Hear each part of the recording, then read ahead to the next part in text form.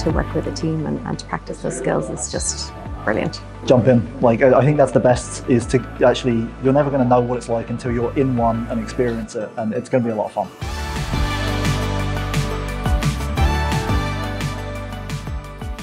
So a hackathon is a collaborative event where we, we group teams of alumni, sort of more experienced people with new people. We give them a goal and a time limit and we try and make it as realistic as possible. We want to give that experience of working in a developer team um, and working together on a, on a project and delivering something that you can be proud of, you can put on your portfolio.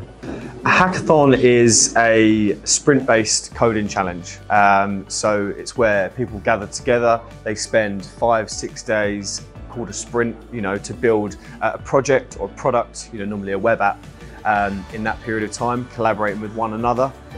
And you just try to work together to build a project. We try and foster an environment of collaboration and support, a little bit extra to, to just being taught or tutored. It's where you can ask questions, communicate, get ideas, and most importantly, help out people. Uh, we want to we want to help, but we also want you to help others and the community to help it, help each other. It allows the students real time and real world um, opportunities and examples of what it would be like in a software engineering environment. By not giving too many rules and guidelines can foster creativity better and let teams really maybe come up with the next thing that hasn't been thought about before. There's probably too many advantages to it to really list off. I think the best part is is you learn something new each time. So it, like every new hackathon, there's new skills, new people, and I come back with something that I can use in my personal work as well. They're so rewarding. You think that you can't so many times throughout the, the four or five days. And every time you think you can't, you prove to yourself that you can. It's wonderful. After, you know, five days, you know someone that you've built a really cool project with and no matter what happens, you can always go back to that project and see how far you guys have progressed since then.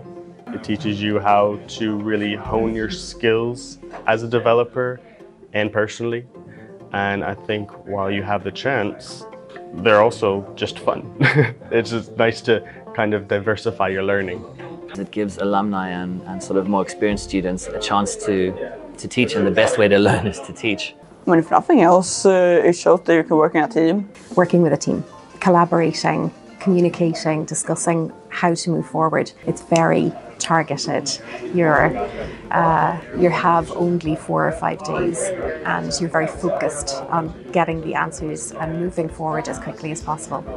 It's something that gives them real world, um, you know, it's a real life uh, opportunity. You know, it's it's a like for like of what it would be like working in a normal dev environment. You, you find your profile on LinkedIn tends to ignite around the time you do a hackathon, um, so it really does work. It gives you the confidence that you can actually do the job. Imposter syndrome for me has been brutal this year, and every time I think I'm doing really, really well, I question can I really hold my own?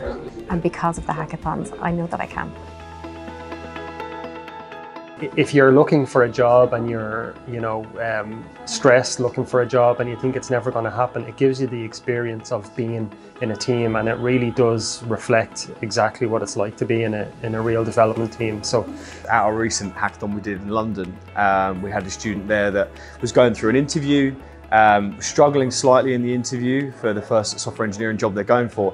The moment they mentioned the hackathon, the interviewer was immediately engaged and said you've got real world you know sort of access to it you know and it's an example of collaborating with other engineers and they ended up with a job i know that participating in hackathons led to me directly getting a job when you take part in a hackathon it gives you a lot of material to speak to interviewers about and it can help you with the nerves in um, an interview I remember in my interview, the, the person asked me about a project I was passionate about, and I was able to recall a very good hackathon experience that was very fresh with me. And it kind of got me through the nerves of the interview. And the interviewer actually said to me that she could tell I was very passionate about the project and I think that's pretty much what got me that job. I, I had a recent uh, interview uh, within the last year and they were talking about how I had overcome a problem that, had, that had happened uh, and you know steps I took and, and that type of process. And I brought up the fact that in my last hackathon, we were having issues deploying and uh, it you know kept not working, kept not working. Then we came together as a group, individually found out the different steps that we could take, and then came up with a solution plan, put it into place, and in the end, we won the hackathon. So. Yeah. It's really simple. I mean, students who participate do better. They have an easier time at interviews. Um, a lot of our students get jobs specifically because of their hackathon participation. You know, it just gives you an edge over someone who hasn't worked in a team before, who doesn't really follow agile principles, who has never had that that that collaboration experience. A lot of all of our projects are solo, so you could be very good working by yourself. But in the real world, you're not going to be working by yourself. You're going to be in a team. You're going to need to fit in. You can't do everything, and so just learning to to communicate, to work in, in a team is invaluable.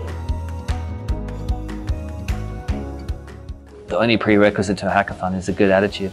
Yeah, I, I do think people should, you know, take part in a hackathon if, if they're given the opportunity, because especially within the course, because you have that kind of safe space and you have the, the people around to help facilitate it. Whereas if you're working on, you know, different group projects outside of this, you might not have that support system. So it's nice to get started with this, you know, get in, start networking with people, start expanding your portfolio, and then you can then take that on to either further ones with Code Institute or other group projects, you know, even in the workplace as well, and get that experience. Absolutely.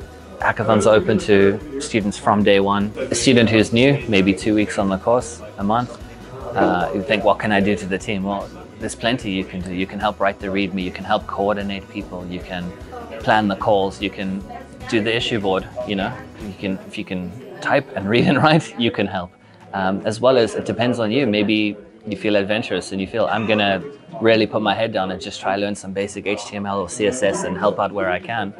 Um, you know, there's always something to do, um, and you'll never be on a team of new people alone. We we balance the teams to make sure that everyone is covered from every skill.